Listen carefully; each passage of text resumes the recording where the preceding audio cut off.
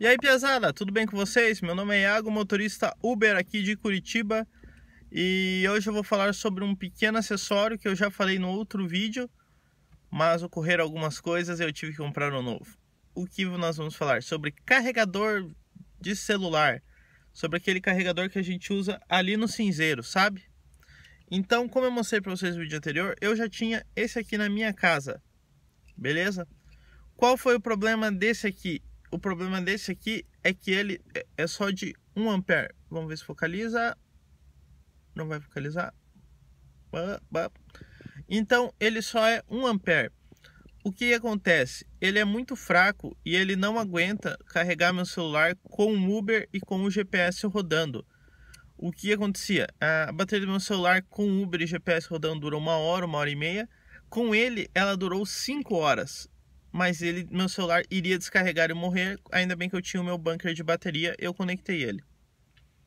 Então, o que, que eu fiz ontem?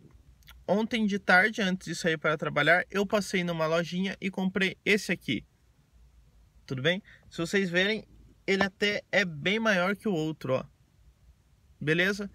Esse aqui, ele é 2.4 ampere. Então, ele é praticamente duas vezes e meia mais forte que o, que o outro.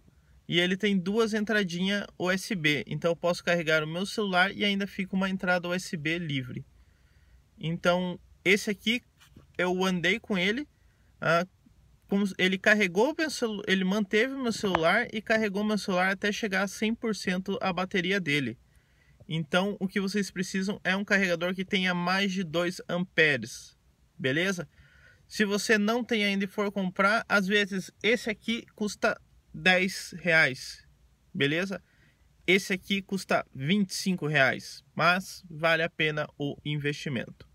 Tudo bem? Valeu, pesada. Tudo de bom para vocês. Fica aí minha dica de hoje.